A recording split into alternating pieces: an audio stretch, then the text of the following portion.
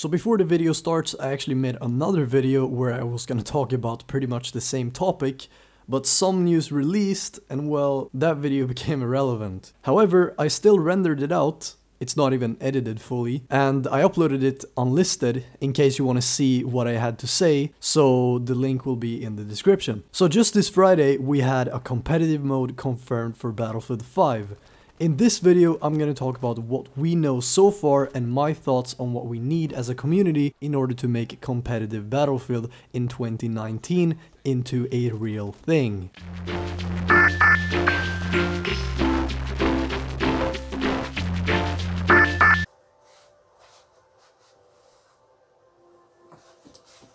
So first of all, let me read the information we have so far.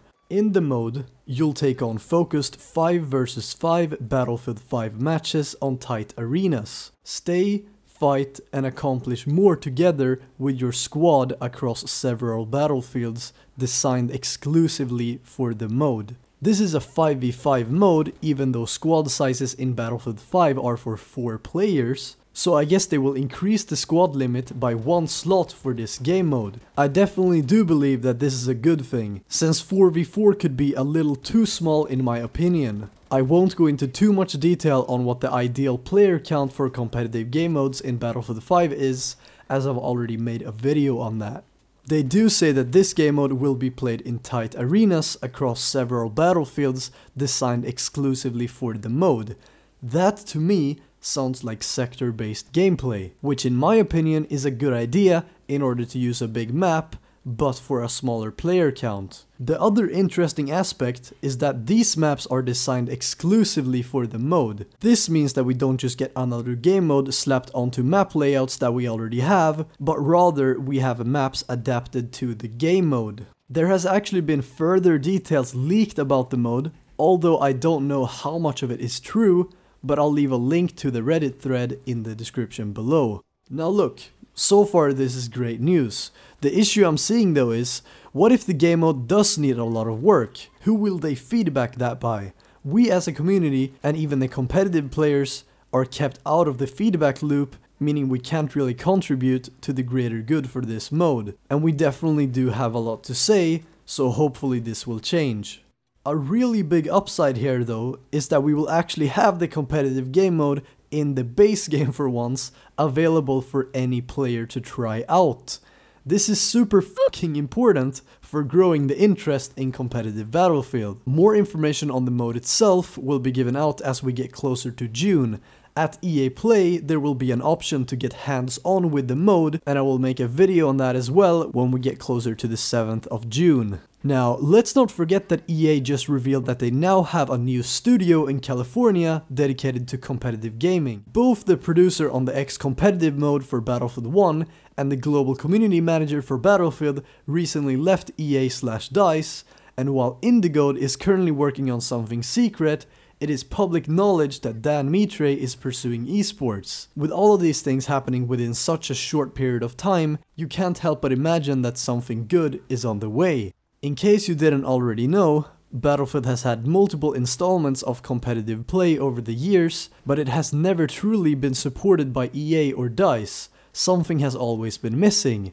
This time though, players can actually access the competitive mode directly inside the game and it won't be a hidden experience. A huge problem before has been that a very large part of the community didn't even know that competitive Battlefield existed. Now though, I think that it will be hard to miss. And if there will be a lot of people who stick to it, that shows DICE that this is something that we as a community actually want. After all, DICE currently have some modes that start as available for a limited time only, and they do that simply because they want to measure what sticks to the community and what does not. Competitive Battlefield has never gotten a true chance, and this time around it's the best chance we have had in a very long time to actually build a scene. So why should you contribute to making competitive Battlefield into a real thing in 2019? Well, Having a competitive scene in the game is a very good reason for a game surviving longer. Competitive players are typically very dedicated to the game and that leads to plenty of activity inside the game. Also, playing Battlefield matches in a more controlled environment is a lot of fun. I strongly recommend you try it out if you get the chance. If we start helping players who don't have competitive experience with the basics of competitive play, we can grow the scene for everyone. As much as you like the sound of that or not, Without bringing players from the overall community into the competitive scene, we will not reach numbers high enough for the amount of interest required for competitive play to become a real thing. So what is this real thing that I'm talking about then? Well, that is esports. I believe that with enough interest in competitive Battlefield, we will get plenty of viewers on competitive matches. With plenty of viewers, we can attract sponsors to the competitive scene. That can fuel it with prize money and raise the interest even more, because there simply is no esports without viewers. So even if we can't make most of the Battlefield community into competitive players, we still need them to become interested in watching competitive Battlefield. Before, that was not really an option, since your typical Battlefield player could never relate to the competitive experience that was being played in competitive matches.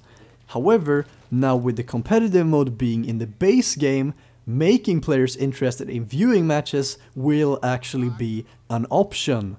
If we can just be given the tools to play private matches, and for the matchmaking system to be a bit more advanced with some competitive ranks, we will surely see competitive Battlefield growing. I say this because I actually know about what serious tournament organizers there are out there, and there are just so many people in general that want to put effort into building a scene. Personally, I'm gonna be releasing guide videos. When I started with competitive play in 2015, there was nothing to guide me or even tell me that there exists a competitive scene for Battlefield, and I'm going to change that.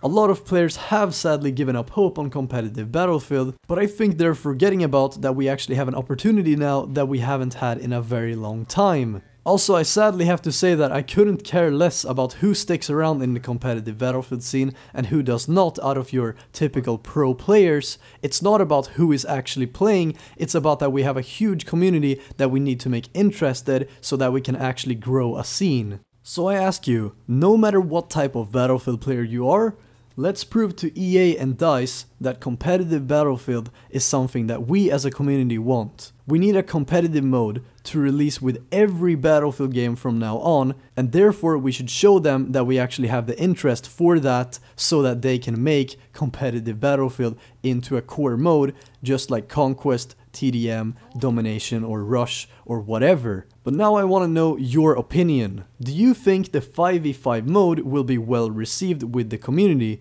And what can we do to make them receive it better? Are you willing to help out with growing the competitive Battlefield scene? Please leave a comment down below. And also don't forget to leave the word tegelvägg at the end of your comment and we will all see how many people made it this far into the video. Please consider smashing the subscribe button and the bell if you are new here as I will be uploading more content very soon. But until the next video, I am President Slendy and I wish you a fine day.